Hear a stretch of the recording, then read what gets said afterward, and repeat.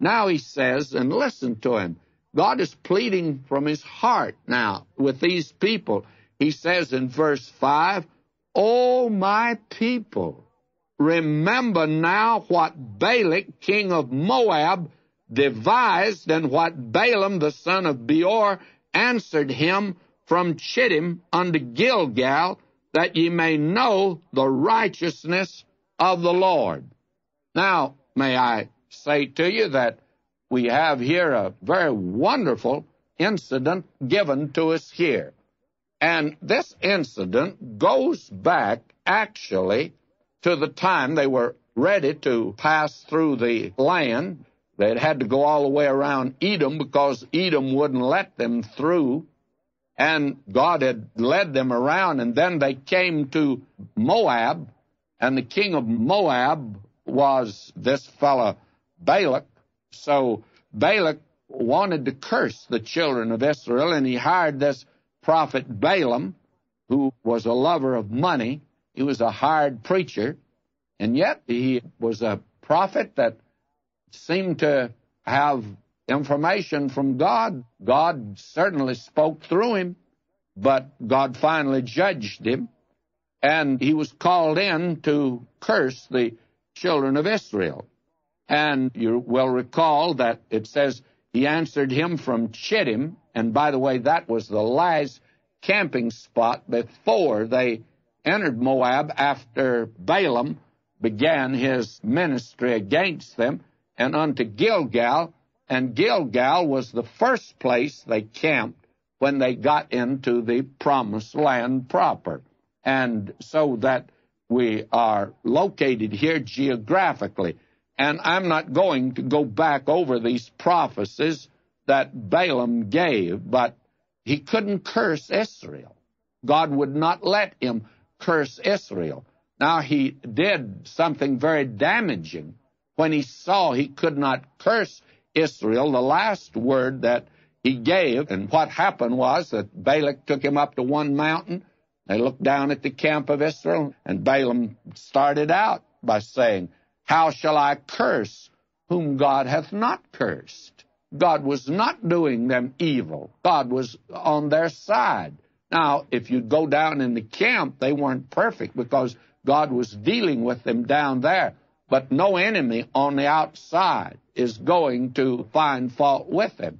And you know, that's the wonderful thing today that the children of Israel didn't know it, that there was an enemy trying to curse them and God was protecting them and defending them. And even old Balaam had to say, How shall I curse whom God hath not cursed? I'm not able to do it. God would not permit it. Now, we are told that we have an advocate with the Father, Jesus Christ, the righteous one, and God deals with us personally. I know that He has with me, and severely. I'm confident that cancer that I had was a judgment of God upon me. I accept it as that from Him, and I thank Him for hearing my prayer. But I'm very thankful that I have up yonder an advocate, Jesus Christ the righteous, and He defends me. He's on my side.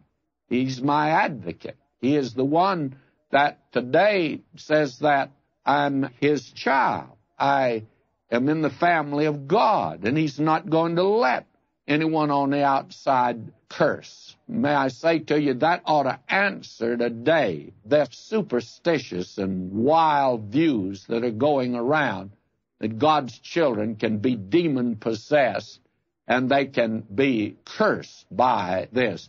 I don't believe one whit of it. Now, I think the devil can give you a whole lot of trouble.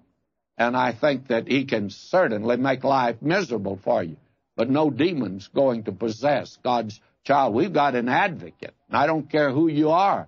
If you're a child of God, he's on your side. And he's defending you. As Martin Luther put it when it seemed the whole world had turned against him at one time, he says, one with God is a majority. I'm on the side of the majority. How about you? That's very important. And God is telling his people, I've defended you. Even when Balaam attempted to curse you and Balak got disgusted with him, he took him from one mountain to another to four mountains and he couldn't curse them. But he gave some awful advice. He says the thing to do now, since you can't curse them, you can't fight them, join them. In other words, it's the same old story. If you can't fight City Hall, join City Hall.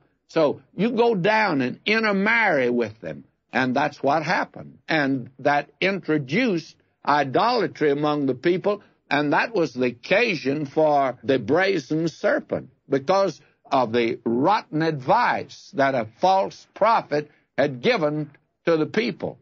And I say to you today, and I want to say this very carefully because we're getting today a whole lot of so called marriage counseling. And there's a world of that going on today.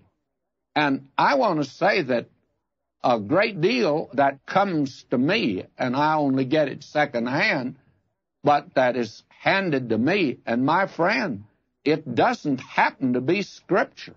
Now, I know you can pull out a little verse here and a little verse there, and you can build up quite a case. But the only thing that's going to make a marriage work, friends, is love. If he can look down at her and say, I love you, and she can look back at him and say, I love you. Now, my friend, you've just about solved all the problems when you've done that. If you can come that far, this idea today that you can work out these in that type of a manner. Oh, my people, God says, remember now what Balak, king of Moab, devised, and what Balaam, the son of Beor, answered him from Shittim unto Gilgal, that ye may know the righteousness of the Lord. God was righteous God, but he was defending you. He was on your side. And it's wonderful to have God on our side today. How wonderful this is.